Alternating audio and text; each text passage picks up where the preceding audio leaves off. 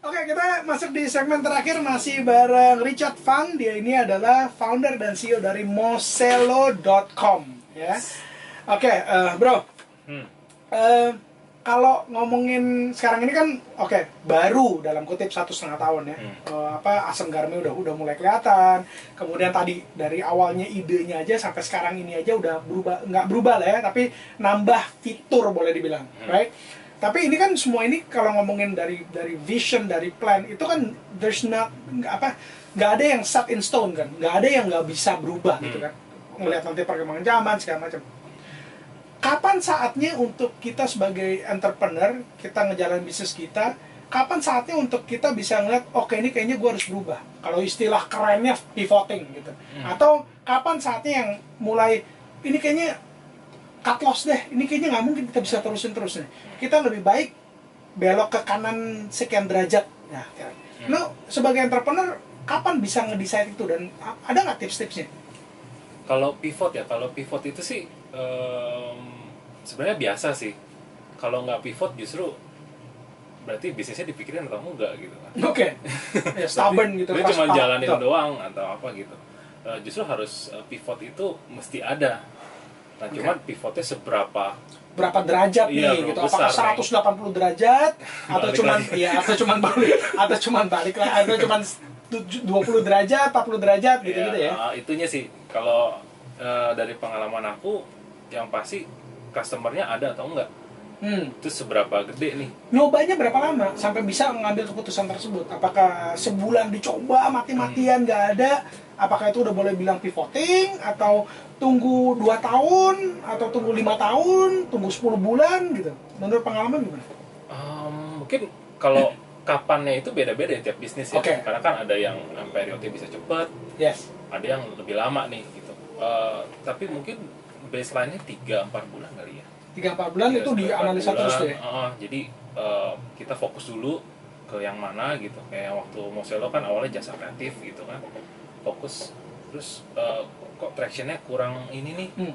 uh, dari produk kita improve tapi kok ini gimana ya customernya nih belum kena nih gitu Hmm. nah terus pas ini kita coba shift coba ini gift tapi cobain nggak langsung masif berubah gitu Hmm.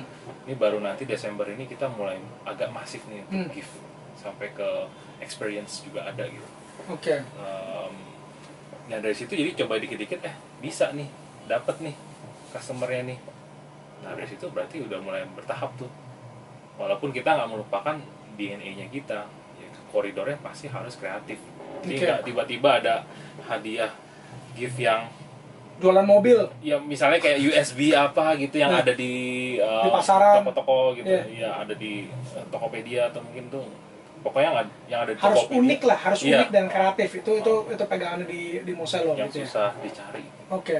Nah, kemudian kalau ngomongin tadi ketika akhirnya dalam let's say bisa eh, apa jangan jangan ditelan mentah-mentah juga ya 3 4 bulan yang tadi kita Iya, ngomong iya, ya. iya, tergantung. Karena tergantung dari bisnisnya, tergantung lokasi, tergantung banyak hal lah. Yes. Marketnya B2B atau B2C dan seterusnya Ya, gitu.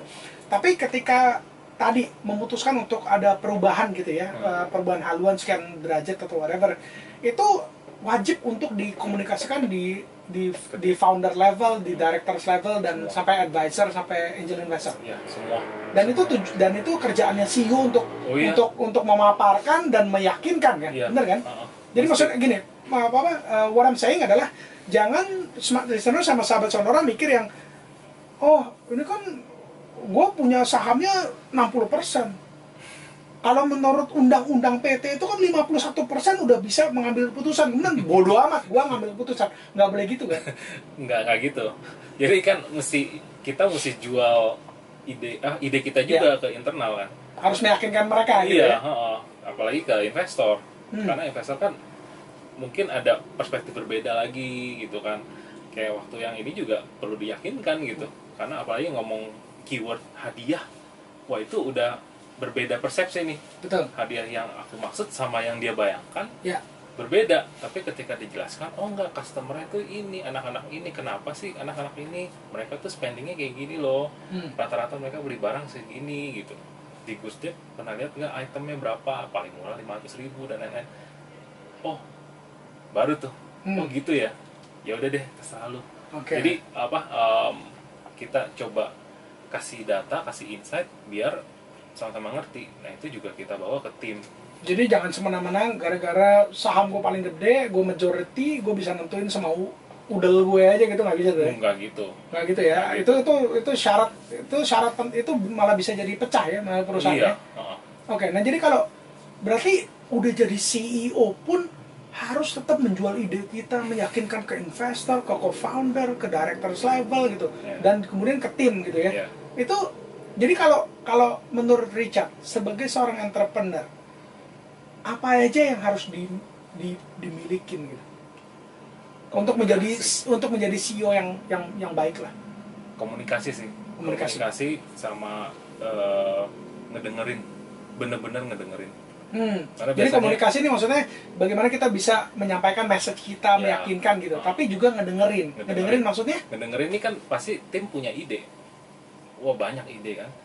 Ya kita bener-bener mesti dengerin Eh, ketika di sometimes kan dengerin bukan artinya iya. Betul. biasanya orang expect-nya kan begitu didengerin Ditelan mentah-mentah dilakukan gitu, Ya. kan. Nah ngedengerin itu kan artinya ketika ada ide kita discuss kita coba kita pikirin possibility-nya. Nah kalau iya kita lakukan kalau enggak ya kita sampaikan juga gitu. Oke. oh ini enggak karena ini ini ini Dan mungkin bisa didiskusikan lagi untuk dapat lagi alternatif berikutnya ya lagi bisa gitu jadi kan? ide baru keluar dari sana Iya. Dan atau karena karena I also believe bahwa uh, mungkin kalau menurut saya ide itu nggak ada yang jelek. Hmm. Cuman kalau ide yang belum yang tadi nggak bisa diimplementasikan mungkin bukan nggak bisa tapi belum saatnya juga Hmm. bener kan Hmm. kali aja tuh ide itu yang penting kita simpan dulu mungkin jadi ide yang paling bagus di dua tahun lagi Iya. Iya kan Hmm. karena kan ya faktor X di luar sana begitu banyak kan Iya. gitu kan oke oke nah terus kemudian kalau eh, kebayangnya mimpinya kan penting nih untuk untuk seorang entrepreneur punya mimpi yang besar Hmm. gitu kan Hmm. jadi kalau Mozelo Mozelo.com ini Richard sebagai founder dan CEO pengen Mozelo ini berapa kali lebih besar daripada Tokopedia? Loh, diaminin dong. Aminin dulu kan? Enggak, enggak, oke. Just kidding, just kidding. Tapi eh, mimpinya eh, Richard sendiri bisa misalnya let's say saya pengennya sih eh, Moselo ini bisa tiap tahun bagi dividen. Dan dividennya saya pengennya ya 10 miliar per tahun cukup lah. Atau saya pengen Moselo ini bisa ngebantuin misalnya omong kosong 2 juta expert apa si apa vendor kreatif ini atau atau apa yang ada di bayangan ujungnya tuh pengennya kayak gimana? Eh, kalau mimpinya sih lebih ke sebenarnya kita bisa jadi enabler dulu buat orang-orang kreatif ya. Oke. Eh, itu sih. Jadi platform buat orang-orang kreatif Oh. eh, memasarkan jasanya jasa atau dan, dan produknya. Heeh. karena itu yang sebenarnya uh, it's growing di Oke. Indonesia terus kan ada Indonesia emas juga nih yang kita nggak bisa hindari ya karena umurnya kan bakalan gendut di tengah nih Ya, porsinya dari tengah ini kan nanti mereka mereka ini cari lapangan pekerjaan ke mana gitu hmm. apakah company akan sebanyak itu di Indonesia ya. Apakah bisa menyerap semua? Menyerap semua. Pasti tidak jawabannya. pasti enggak kan Betul. Nah, kayak sekarang aja mulai kelihatan oh banyak yang bisa bikin ini dijual bisa Hasilnya duit. ngasilin duit Ya. kayak yang apa uh, eyelash Ya. Sampai Oh, sekarang oh sekarang lagi booming banget itu. makanya Yes. itu kan kita harus lihat sign-signnya itu kan Correct. artinya ketika lima tahun lagi bahkan lebih banyak yang unpredictable apa ya output dari Hmm. mereka-mereka yang muda ini gitu Iya. terus kalau nggak ada platformnya yang ada cuman yang itu itu aja yang maksudnya cara ininya beda cara engage sama customer yang beda terus mau gimana gitu Betul.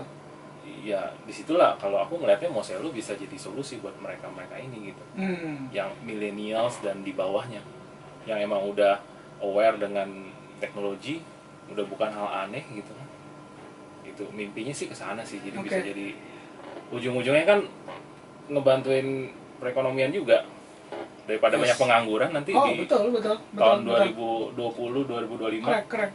Dan dan bukan berarti sekarang ini kan kalau mau apa kalau mau hidup berkarir atau berbisnis kan kita harus harus apa harus bergantung sama orang lain juga gitu kan. Hmm. Karena sekarang ini kalau yang tadi dalam kutip quote unquote apa eh, nganggur gitu. Tapi kalau bisa menghasilkan sesuatu iya itu ya, ya karena yang paling bahaya dalam suatu negara itu pengangguran itu banyak itu akan kriminalitas akan Pasti. akan akan akan Ya. tinggi gitu kan Ya.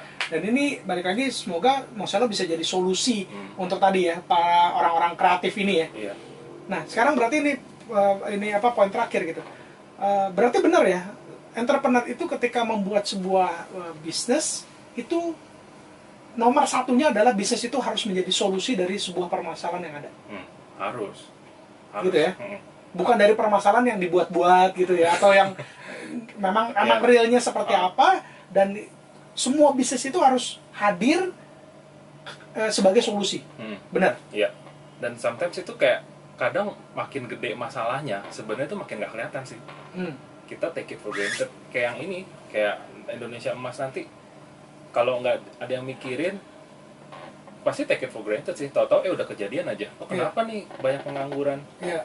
Eh, Kenapa kayak begini gitu nanti? Ya karena take it for granted dari sekarang. Jalanin aja dengan apa yang ada sekarang. Tapi lupa nih, 5-10 tahun lagi, ini anak-anak ini, mereka-mereka ini gimana gitu. Oke, alright. Oke men, kita udah sampai di penghujung acara seperti biasa harus ngasih tips, tips Waduh, tentang untuk tips. jadi entrepreneur. Simpel aja, beberapa poin mungkin eh, 15 sampai 20 detik aja. So here you go, Eh, top words dari eh, Richard Fang, silakan. Oke, tipsnya untuk uh, yang mau menjadi entrepreneur itu paling simpel sebenarnya jangan takut sama ide sendiri. Uh, walaupun kadang ide kita itu banyak orang yang bilang ini nggak mungkin, itu nggak mungkin. Justru yang paling penting itu ketika ide itu diaplikasikan. Karena sebenarnya nggak ada yang peduli dengan ide doang. Yang orang peduli itu adalah ketika ide itu sudah menjadi sesuatu gitu. Nah, ketika sudah itu orang baru komen. Nah, ketika itu barulah kita bisa bilang, oke apakah ini bagus atau enggak. Jadi setelah itu ya mungkin jangan pernah menyerah ya. Ya klise tapi it's uh, kalau lagi jalanin bener banget. Oke. itu terjadi sih gitu. Alright, Richard, thank you so much udah mau berbagi. So um, Thank you Billy. di dalam holiday season ini selamat berlibur, selamat tahun baru. Oh iya, ya Happy New tinggal Year. tinggal happy ya happy new year next week kita ketemu lagi udah di 2019 Wow. harus menjadi lebih baik dan doa saya untuk Moselo menjadi solusi buat para expert-expert itu ya orang-orang Ya, kreatif orang ya kreatif di Indonesia. alright moselo.com congrats Yes. congrats dan good luck ya Ya, thank you Billy. Alright, eh, yang mau tahu apa aja yang akan dilakukan oleh Yang On Top di tahun 2019 tinggal ke www.yangontop.com. Tahun depan Yang On Top 10 tahun hadir untuk Indonesia. Alright, until next week, until next year, be inspired. I'll see you on top.